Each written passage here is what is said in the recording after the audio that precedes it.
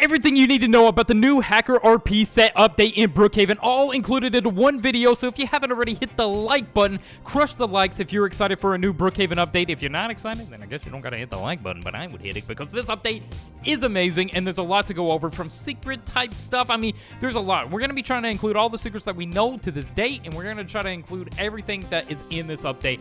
And uh, well, this update consisted of a Hacker RP set. If you kind of go down below, it also consists of wheelies. Now you can pop wheelies on uh, bikes and motorcycles of sort, uh, and it gets kind of crazy with that one too. And then there's minor bug fixes. Now, when it comes to minor bug fixes, it could really be patching up or changing little subtle things around Brookhaven that we would barely even notice. So the minor bug fix is a little interesting, and I am kind of curious myself what those minor bug fixes are, uh, because sometimes the changes are so subtle, but they really are quite noteworthy. So, yeah, anyways, getting back to this though, we have my bike over here. I feel like if I'm gonna ride a bike and be popping wheelies, I probably should get me a helmet of sorts. So that seems to be taking safety first and the best optimal way possible. Um, I need a biker helmet. Maybe this one? Okay, that, that, that'll work. That'll work. It ain't really my preferred choice. Or I can do this cat one. I don't think I'm gonna do that one. I'm, I'm, I know what people want to be doing, but I'm not going to. So this will work. So we get on the bike here, and we're going to be taking a look at our first feature in today's video. That is the wheelies. How to pop wheelies, how to use wheelies uh, on different various motorcycles. Well, if you want to be able to pop a wheelie on the bikes, all you have to do is go up to the speed, the, uh, the little speedometer. Now, once you click on that, you will be able to adjust your different speed, but you're to see something we have never had before, and that is this wheelie symbol. So once we press this, it puts our, our, our motorcycle into wheelie formation, and then we can drive around in a wheelie. Now, I know there's no stoppies, okay? We can't do stoppies, but we got wheelies. Now, stoppies is basically the opposite of a wheelie. Now, um, now we have this, and this is pretty cool. I'm not gonna lie, dude. This is so cool. Imagine going super fast, just kind of going across like this, dude. Oh, oh, oh, don't, don't crash now. Don't crash. We do got the helmet, though. We do got the helmet if we need it. So, if that's not a more amazing, and when you hop out of it, it goes back to normal. If that's not as amazing, this applies for all motorcycle type vehicles. Now, here's some ones that you probably would not have expected it to apply to, but it does. If we scroll up here and we spawn in an ATV, the ATVs also can do wheelies, which I'm very happy about this as well. So boom, we can now do a wheelie on the ATV as well, just like that. Pretty cool, right? And another one that is a surprise to me is the moped. That's right, you can do a wheelie on this thing. What more do you need? This one takes the cake as king. This is definitely the best one right here, guys. Without a doubt, the Moped Wheelies is just unstoppable. Top of its class, if I ever say so myself. So yeah, that's pretty cool, right? So we're going to be riding a wheelie on back over to our house, and then we're going to get to look at this new parking lot, which is actually a hacker base. So If we come over here, we can press this. This opens up a garage to go down into our massive garage. Um, but once we do that, we can also come over here and just drop down into the secret entrance, and then we are here. Pretty cool, right? So yeah, that's where that goes out. Um, we can close the garage from there button as well. Once we come in here, we will go through this door. This button here, these are just kind of lights, more or less. They're not really uh, any depth added to it button-wise. But if we come down here, we got the more buttons and stuff like that. If we walk in here, we then have the massive new hacker room. Now, this thing is so cool, guys. From all the details you will see around the map, access granted. Ooh. So, yeah, there's a lot of crazy stuff going on in here in the hacker room. Look at this mouse on.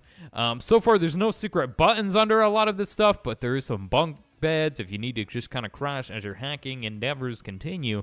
I feel like a hacker would never leave here, dude. You can use the microwave and put food in the microwave. We learned that recently. Uh, oh! Wait, that's how you do it. So this button here starts a fire on the microwave someone kept commenting that you could start a fire in the microwave, and that's kind of what I was trying to figure out in the last video that I uploaded regarding the safe location. But I didn't know there was just a button right here that does it. So there you go. You press that button, and it starts a fire on the microwave. Press it again, it stops it. What a random feature, but it's pretty cool. So yeah, um, that's possible. Now, we also have a Coke machine over here. Get your Cokes uh, file cabinets, everything in between. Um, very interesting, very exciting, right? But in the bathroom, you will notice a secret door that requires a key card of sort. In order to get this key card, you come on over here, and it's just right on the desk. Pretty simple, right? So we grab the key card, and then we come over here, and we can get access to here. All right, once we're in here, we're going to go and grab a ladder. Okay, so this is a, a pretty hard to do. I'm not gonna lie, dude, but I want to try to get it here on video for you guys. All right, so let me come on. Where, why can't I see? Come on now. I can't see anything. Eh. This is the problem I'm telling you guys. I cannot see anything right now. Where am I? What is going on? Oh my god, dude. And it's just not gonna let me see anything right now. Okay. Okay. Thank you. Thank you. Thank you. All right. So we want to put a ladder somewhere here. Okay. That's not really helping me. Nope. This is really hard to do, guys. All right. Okay. That's not going to work. Okay. Okay. Let me try to just place it right there, maybe. Okay. I don't even know if you need the ladder, but I think I got it. So let's actually go ahead and get my flashlight out here. Now I'm going to need my ladder again. So let's put the ladder here, and then we can jump up here. And now we're here, right? We're up on this part. Now this part's kind of cool, but that's not the main part we want. We want to jump down through here, and we can walk through the wall. And now we are in this whole huge underground place. Now, you can change the curtains of your house to open something, but you can't see it from here, which is super weird. But um, yeah, so this is how you get into this opened area room here. It's kind of weird. I don't know why you would want it here, but it is a possibility and a place you can go. So now we found that out. That was way more difficult than I assumed it was going to be. But yeah, you can get up there if you just place things right. So let's go hop back down in here. And I'll show you guys what I'm talking about that you can't see for some reason. All right, so if we come down here, there's also a feature where you can change this by clicking on the blinds, right? And then you can see up into that room that we were just in. However, if you're standing in that room, you cannot see down in here. Uh, so it's very interesting in that regard. Now, back to the microwave. If we jump through the microwave, we're going to go into a maze. So in my safe location video, I must point out that I said that there was no way or button to really press to get into the, um, you know, the safe, right? But there is a button in here that you do press to get to the safe. Um, so the thing is, I just don't know where that button is. Oh, right there it is. Hold up right here. So what does the button look like? It's just an invisible button. And then it opens up like that. So there's an invisible button right there above the wall. You press, it opens up the safe room. So, yeah, I wanted to point this out because of my safe location video, I didn't really know where the button was, but I still wanted to give you guys the location, and I just used the sleeping bag ever since I found it.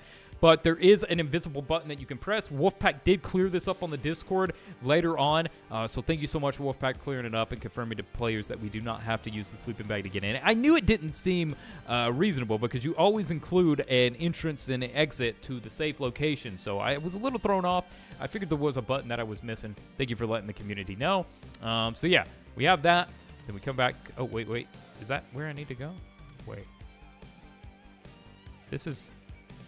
This isn't the safe room, though. Huh? Wait, what?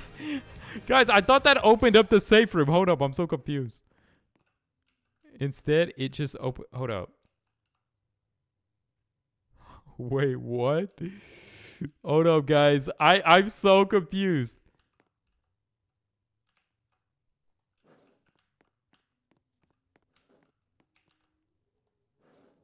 Okay, there it is. Okay. I was like, wait, what? I'm not in the room. Okay, so let's go over here, and here is the safe location. Obviously, we included that in a previous video as well for you people to have under control. But uh, yeah, guys, we've been at it today, um, but we have this here, so hopefully you guys, uh, in, you know, you get the safe location. Cool. Now, we got to find the button that gets us out of here, right? The button that gets us out of here. So there is another button that apparently gets you out of here, um, which maybe is way back here. We go out where we came from. Yeah. And then it just opens back up. All right, so that's how you enter and exit the safe location room. And all that good stuff. So yeah, with that aside, guys, that's all I'm going to be able to include in this video. I probably missed some stuff, but for the most part, we covered the mass majority of the secrets and everything in the video so far, but there's still probably things to cover and go over, which I will do in the forthcoming days. So thank you guys so much for watching and subscribing, all that good stuff, and I will see you guys in the next one.